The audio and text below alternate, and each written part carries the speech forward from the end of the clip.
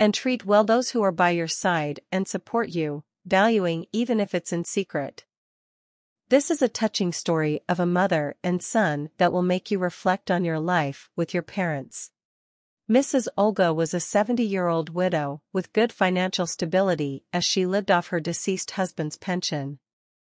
Mrs. Olga had only one child born from her womb at the age of 16, and this baby died a few days after birth. Her husband was in tears, but Mrs. Olga, even at a young age, was a strong-willed woman who immediately moved forward with whatever came her way, even with the death of her first child, as she had been raised this way by her parents. So, shortly afterwards, a friend proposed to her to adopt a girl so that she could be her mother. Dona Olga and her husband liked the idea and accepted the challenge. The young girl came already at eight years old and was well raised and treated, but displays of affection from her adoptive mother were rare. Over the course of two years, people saw that Dona Olga and her husband took good care of the young girl, so the proposal arose for them to take care of a five-year-old boy.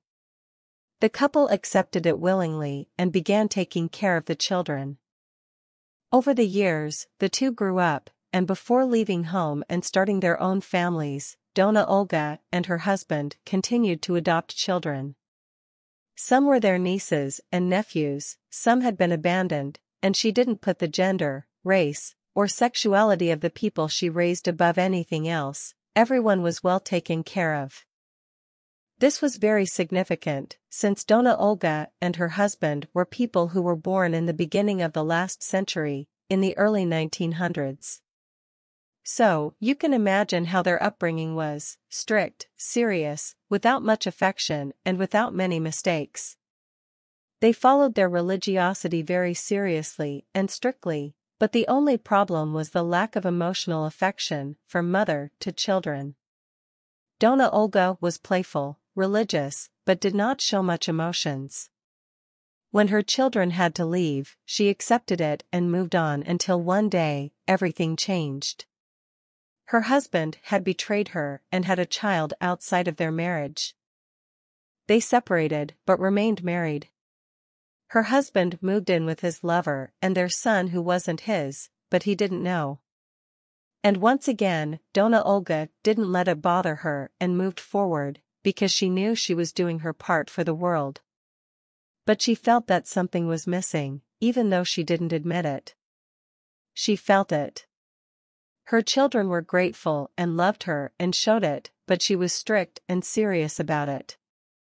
At a certain point in her life, already a widow, a friend asked her why she didn't raise another child. Dona Olga laughed and said she was too old for that. But because she liked her friend very much and she always said that Dona Olga had taken exemplary care of all her children, she ended up accepting. It would be the first newborn she would raise. The children, even though they were older and married, didn't agree. However, she accepted, since she lived alone in a large house with her dogs and her orchard on a small farm. The agreement was very simple, the child would be born and, within two days, would be in the hands of Dona Olga. And that's what happened. This child was her friend's grandson who insisted that Dona Olga take care of him. The mother no longer had the conditions to have children, since she already had many. And so it was done, the child was born and, on the day of his birth, Dona Olga's heart beat three times stronger than usual. She had never felt that before and was even scared. Within two days, the child was in her possession without even having had breast milk. Dona Olga took care of him in a different way, because he reminded her a lot of her first child who had died when she was a newly married teenager many years ago. The child grew up. Dona Olga didn't show affection and never said I love you to her children, and not even to him, maybe because she was afraid of the pain of losing a child like her first one. Dona Olga didn't go to school meetings, or mothers, fathers, or children's day parties. The boy Eduardo got used to it. Eduardo, even though he was a very energetic and mischievous child, was very intelligent and got good grades. He excelled at everything he did. And on the day he learned to read, he was happy to tell his mother. She gave him a happy smile and praised him, but nothing more. Eduardo never forgot this day. Dona Olga's children noticed that she took care of him in a different way, as if she wanted to show the motherly emotions that she never had for the others. There was some jealousy from Liz because of this treatment, even though she avoided showing it in front of Eduardo, but her children noticed how Eduardo didn't get attention from their mother. Like many children, he misbehaved to get his mother's attention, but it was useless to do so with a woman as experienced as a mother. He was the only one who had the courage to kiss her on the cheek and hug her. She didn't like it and scolded him, to his sadness.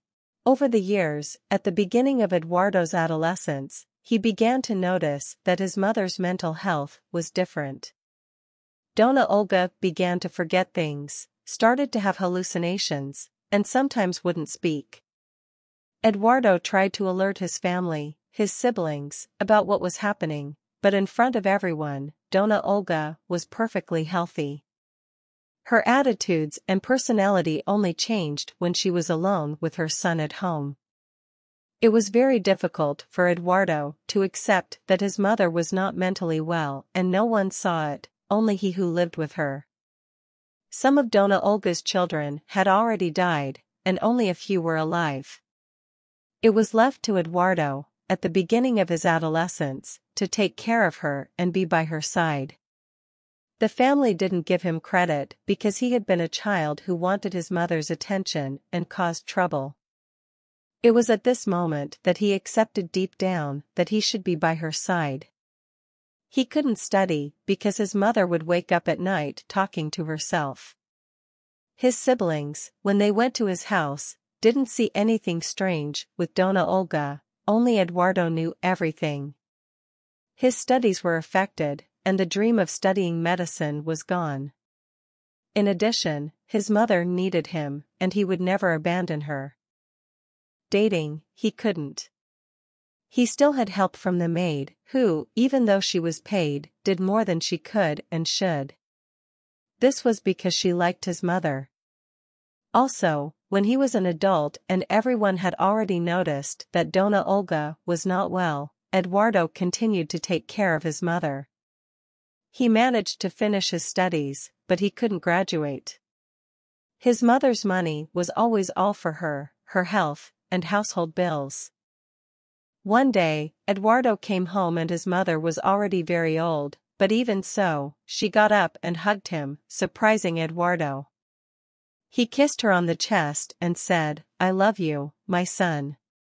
He was the only child she had and ever said that she loved. After a hug, for Eduardo, this was a reward for a lifetime. Some time later, Mrs. Olga passed away at 99 years old, Life continued for Eduardo, going to work on the second day after burying his mother. For, just like her, he learned to move forward even in the worst moments of life. It was the greatest lesson his mother taught him, to move forward even with pain. This is a story that few people know. Stories like this happen every day, but no one will ever know. And the moral of the story is its title, Treat well those who are by your side and support you, valuing them even if it's in secret, and move forward even if it's difficult. I hope you enjoyed this true story.